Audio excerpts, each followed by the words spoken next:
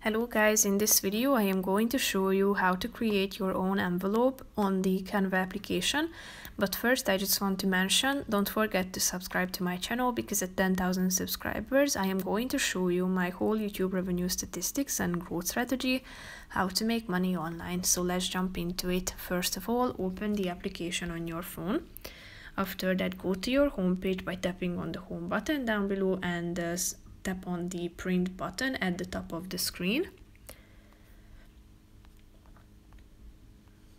Then you should uh, slide to the right side till you find the envelope button and after that you should uh, click on this uh, plus icon to create your envelope. Once it is loaded in, you can start uh, customizing it. Here are the envelope templates that you can choose from. Tap on the relevant one and then it will be inserted.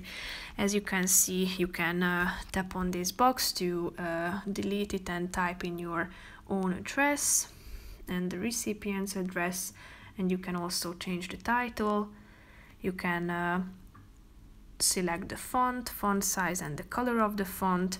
You can add additional uh, elements such as uh, a stamp can be added to uh, postage, wax stamp, postage stamp, back seal and so on.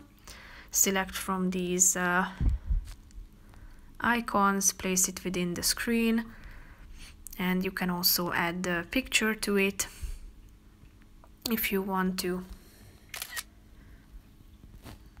Tap on use photo and uh, you can add it to your document like this and if you are done tap on the save button at the top of the screen and then you will be able to print it if you would like to do so. As you can see it's now being prepared.